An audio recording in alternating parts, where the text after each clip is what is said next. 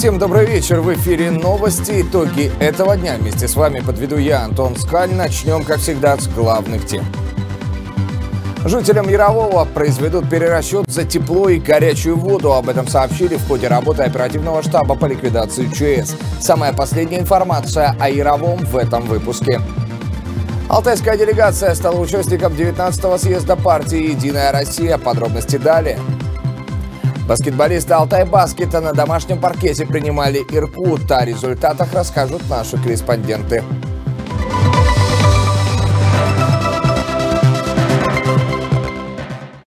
Жителям Ярового произведут перерасчет за тепло и горячую воду. Об этом сообщили в ходе работы оперативного штаба по ликвидации ЧС. В городе побывал и мой коллега Глеб Полянский. Подробности в его материале. На минувшей неделе губернатор края Виктор Томенко по итогам работы краевой комиссии ПЧС ввел на территории города Яровое режим чрезвычайной ситуации. Собственник ТЭЦ, компания ТПК «Ресурс», оказалась не способна организовать бесперебойную работу станции. В результате холодные батареи в домах, а средняя температура в помещениях едва достигала 18 градусов тепла. Выполняем все-таки самую главную задачу – это восстановление нормального жизнеобеспечения и нормальной жизнедеятельности населения. Потому что нарушена именно жизнедеятельность населения. Она выходит сегодня за рамки нормальной. Всего в городе 118 многоквартирных домов, медсанчасть, общежитие колледжа, санаторий с грязелечебницей, детский дом и другие социальные объекты. Температурный режим находится под постоянным контролем местных властей. 17-21 градус э, у нас э, в помещениях школ, а в садах, э, к сожалению, холоднее, в отдельных помещениях опустилось уже ну, до 14 градусов. Но в эти помещения мы детей не пускаем. Переводим их в этих же детских садах в помещения более теплые и ставим там обогреватели, доводим до нормативной температуры. Сотрудники ТЭЦ продемонстрировали качество топлива, которое закупали для работы станции собственник и эксплуатирующая организация. Это напоминает не уголь, а влажные комки угольной пыли. При доставке на морозе они замерзают и становятся непригодными для топки. Первые 10 вагонов качественного угля уже прибыли в Яровое, следом направлены еще 90 вагонов. Таким образом, здесь будет сформирован необходимый нормативный запас – больше 6,5 тысяч тонн необходимо сегодня э, создать нормативный запас угля.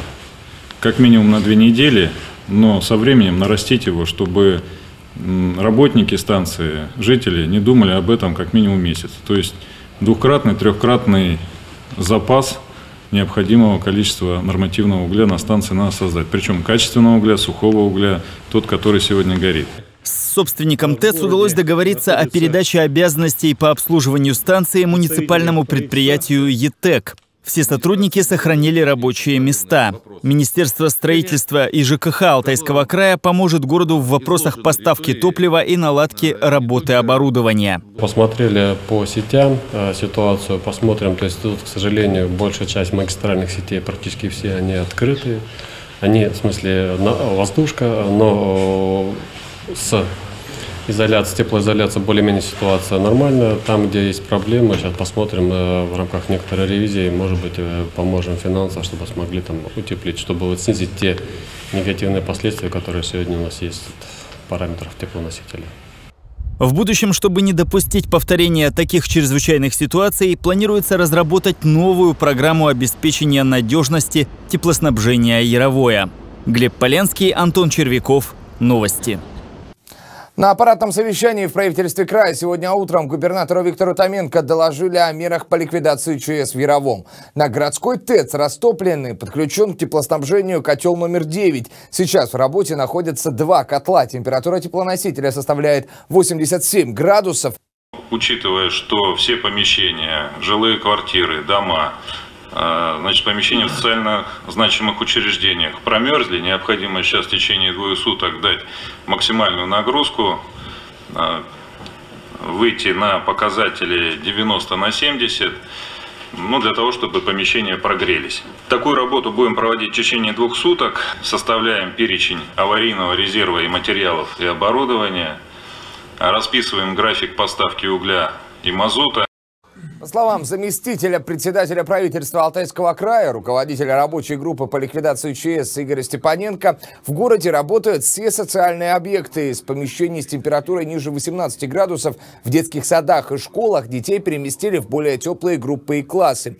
По мнению министра строительства и жилищно-коммунального хозяйства Алтайского края Ивана Гелева, в случае возможных перебоев в теплоподачу необходимо создать резервный запас дизельных генераторов и теплопушек проблемы, которые у нас там по социальным учреждениям частично, наверное, могли бы решить, если бы вот э, правильно, скажем, организованный подход, э, электрические пушки, где-то там подключением подстанциям и так далее, то есть организовать э, вопрос. Там в рамках соблюдения все-таки безопасности, конечно. Виктор Томенко поручил рабочей группе обновлять информацию об обстановке и температурном режиме в Яровом каждые два часа. Ситуация находится на контроле правительства региона. Алтайская делегация стала участником 19-го съезда Всероссийской политической партии «Единая Россия». Он прошел в Москве 23 ноября. За ходом главного партийного события года следила Елизавета Конева. Быть вместе с людьми, знать их нужды, проблемы, реагировать незамедлительно, помогать, объяснять и защищать. Такую установку дал президент Владимир Путин «Единой России» на 19-м съезде в Москве. В повестке формирование новой программы, с которой партия пойдет на выборы в 2021 году. Среди задач – поддержка семей с детьми, развитие сельских территорий, строительство больниц и увеличение доходов населения. Работу над программой будет курировать лично Дмитрий Медведев. Считаю правильным, чтобы все новые компенсационные выплаты для граждан освобождались от налога на доходы физических лиц. Мы заканчиваем подготовку законопроекта, который позволит обманутым дольщикам не платить подоходный налог с компенсационных выплат по линии Фонда защиты прав граждан. На съезде решили создать шесть рабочих групп Генерального совета партии по отраслевым направлениям, в одну из которых войдет губернатор Алтайского края Виктор Томенко. Нам еще предстоит определиться с тем, как непосредственно эти группы будут работать. Каждый из членов Генерального совета должен принять участие ну, по своему желанию. Выразил пожелание работать именно в кадровой рабочей группе. Вот, надеюсь, что у нас э, получится интересная, полезная и, самое главное, результативная работа. Также единороссы отметили, что приоритетными задачами партии на ближайшее время по-прежнему остается защита прав граждан. Показатель тому – работа правозащитного центра «Единой России». Решено обновить и формат общественных приемных. Теперь любой желающий сможет узнать о реализации проектов и вступить в партию. Партия начнет э, не только с помощью органов исполнительной власти, депутатского корпуса, но еще и с помощью правозащитников, э, специалистов в области права решать вопросы граждан в судах. Мы это и так делали через сеть общественных приемных, но подключаем сейчас и Ассоциацию юристов России, и другие организации для того, чтобы усиливать эту работу. Усилили свои позиции алтайские единороссы и в Генеральном совете. Вошел в его состав депутат Государственной Думы Даниил Бессарабов. Теперь от нашего региона там три представителя. Случай беспрецедентный. Помимо Даниила Бессарабова, это Виктор Томенко и депутат АКЗС Алексей Кривенко. Это возможность реализовывать дополнительные проекты в социальной сфере, в экономике, продвигать регион на новые позиции. И вот здесь, как представитель своих избирателей родного края, готов сделать все для того, чтобы вот помогать жителям. Алтайскую делегацию на 19-м съезде партии возглавил секретарь регионального отделения Александр Романенко. По его словам, партия должна оставаться не только правящей, но и нести ответственность за жителей нашей страны. Партия должна встать э, на защиту людей, и этим самым мы должны показывать, в том числе и каждого члена партии, действительно достойного э, продолжателя, достойного человека, который действительно бы своим примером показывал вот э, те функции, которые на сегодняшний день партийцам э, присущи. Установка местным властям от Владимира Путина на 19-м съезде партии – не доводить ситуацию до прямой линии с президентом. Тогда к выборам 2021 года у избирателей не останется сомнений, за кого отдать свой голос. Елизавета Конева, Дмитрий Козерлыга. Новости. Только до 30 ноября Алтайэнергосбыт предлагает с выгодой рассчитаться с долгами. Компания проводит акцию «Начни зиму без долгов и выиграй приз». Что нужно, чтобы выиграть один из 500 призов, узнаете прямо сейчас. Начни зиму без долгов и выиграй приз. В ноябре компания «Алтай Энергосбыт» проводит одноименную акцию. Среди клиентов в Алтайском крае и Республике Алтай будет разыграно больше 500 призов. Условия акции максимально просты. Нужно до конца ноября погасить все имеющиеся долги за электроэнергию, включая пеню, и внести авансовый платеж за ноябрь до 30 ноября 2019 года. Этого достаточно, чтобы стать участником розыгрыша более 500 призов от «Алтайэнергосбыт». Среди призов от компании электрочайники, мультиварки, утюги, наборы светодиодных ламп, а также дисконтные карты со скидкой 20% на электротехническую продукцию.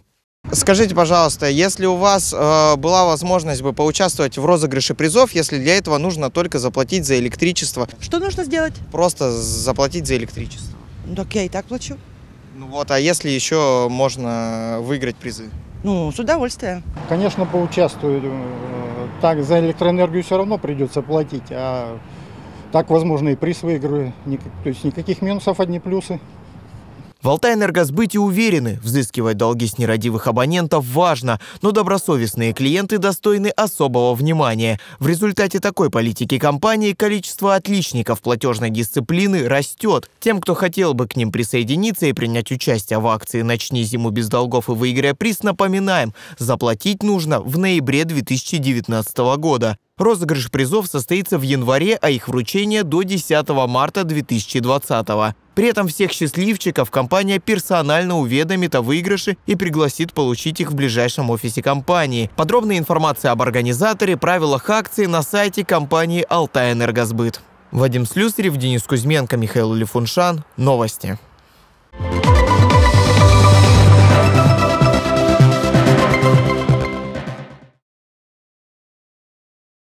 17 этажей счастья, дом для работников культуры, образования и здравоохранения построили в Барнауле. О том, как вручали ключи новоселам в нашем следующем сюжете. Лямину Михаилу Владимировичу, артисту-вокалисту Краевого автономного учреждения Алтайский государственный музыкальный театр и его супруге Юлии Владимировне, артистки вокалистки театра. Среди новоселов молодые актерские семьи из краевых театров, а также ведущие артисты Государственного молодежного ансамбля песни танца «Алтая» и Краевой филармонии. У Анны и Дмитрия Плехановых многолетний опыт жизни в съемном жилье. Четыре месяца назад в молодой семье произошло пополнение. Родился сын Ярослав. От любви до дружбы, в общем, все рядом. Один шаг, да. да. Ну вот. и театр нам снимал квартиру театр, все эти да. годы. А теперь прозвучали такие фанфары, у нас есть квартира. На каждом этаже нового дома размещено по 4 квартиры. Однокомнатная, две двухкомнатные и трехкомнатная. Все квартиры не только сданы под ключ, то есть с полноценной отделкой, но и частично меблированы. Контроль за объектом в ежедневном режиме осуществляли специалисты Минстроя края. Общая стоимость культурного дома почти 230 миллионов рублей. Эти средства выделены из регионального бюджета в рамках краевой инвестиционной программы. На семье Нариманову досталась трехкомнатная, но и в семье у них с женой Натальей четверо детей. Огромный плюс этой квартиры, что у нас все рядом. Здесь у нас получается, вот окно открываешь, здесь э, площадка игровая, позвал ребенка там. Потом детский садик вот тоже через, э, даже не через дорогу рядом стоит. Вот, квартира трехкомнатная, все есть, и мебель, э, значит, линолеум, все, все сделано, все условия. Это, это огромная помощь и огромный подарок для нас, мы очень счастливы. Чтобы талантливые молодые кадры оставались в регионе, необходимо решение квартирного вопроса. Во время общего новоселья артисты Краевого музыкального театра Михаил Лямин и Насими Нариманов исполнили знаменитую песню группы «Секрет» «Моя любовь на пятом этаже», добавив в нее алтайского звучания. Моя любовь, конечно, спит уже спокойного сна. Владимир Токмаков, Анатолий Фукс. Новости. И о спорте баскетболисты Алтай Баскета провели очередные матчи. На домашнем паркете команда Бориса Соколовского принимала команду из Иркутска под названием «Иркут». Дмитрий Гладких побывал на играх и знает результаты противостояния. В Барнауле матчи между Алтайбаскетом и Иркутом с этого сезона стали носить принципиальный характер. В баскетбольном клубе с берегов Ангары сейчас сразу два тренера, которые в разные годы трудились на благо развития алтайского баскетбола. Это Евгений Горев, которого без преувеличения можно назвать барнаульцем, и Александр Лукин. Кроме того, в составе гостей сразу два игрока, выступавших в форме Алтайбаскета и внесших свою лепту в историю баскетбольных побед нашей команды. Это Вячеслав Ворончихин и Владислав Лисовский. Кроме того, соперники – конкуренты в борьбе за зону плей-офф. В краевую столицу Иркут приехал со своей поддержкой, привезя маскота клуба кота Феликса. Но, к сожалению, из-за травмы не приехал в Барнаул и не смог помочь иркутянам мастер спорта Александр Анисимов. А Мы не строим игру от каких-то отдельных игроков. То есть мы хотим видеть командную. Выпадает игрок, зашел другой, играет команда. Мы то, что его не хватает, да, возможно, его бросков каких-то не хватило. В стартовом матче день рождения отмечал центровой Алтайбаскета Василий Рыженко. Игроки и команда хотели непременно поздравить своего партнера и добиться победы. Выиграть хочется всегда, не только в праздник, но выиграть день рождения максимально приятно. Правда, уже по итогам первой четверти, которую Алтайбаскет проиграл 12-20, было понятно, добиться победы будет не так-то просто. Вторая четверть получилась зеркальной со стартовой. На этот раз уже баскетболисты АБ диктовали свои условия и смогли ее выиграть 20-15. На большой перерыв алтайские баскетболисты ушли, уступая минимально в счете 32-35. После перерыва игра у баскетовцев коренным образом изменилась. Барнаульцы сумели переломить ход встречи. И это даже несмотря на катастрофические промахи с линии штрафного броска. За игру баскетболисты в бело-синей форме бросили 39 раз. Лишь 19 бросков достигли цели. Перед заключительной четвертью на табло горело 57-54. К тому времени практически все игроки в черно-оранжевой форме сидели на фалах. В четвертой десятиминутке нужные попадания Артема Кузьмина и Дмитрия Злобина позволили барнаульцам добиться положительного результата 80-68. Первую четверть хорошо провели, да, повели. Э, ну и, как правило, становится у нас, э, для нас это ключ, да, мы повели, расслабление, перестаем играть по лидерам. Вторая половина провальная и по защите, и по индивидуальной, и по командной. Отсюда легкие атаки. Все, и дальше уверенность потеряли и перестали двигать нападение. Повторная игра осталась за гостями. Иркут добился победы со счетом 69-60. Следующие встречи наш коллектив проведет в ближайшие выходные, вновь на своей площадке. На этот раз соперником подопечных Бориса Соколовского станет локомотив Кубань-ЦОП из Краснодара. Дмитрий Гладких, Денис Кузьменко. Новости. На этом у меня все. Я желаю вам хорошего вечера и хороших новостей.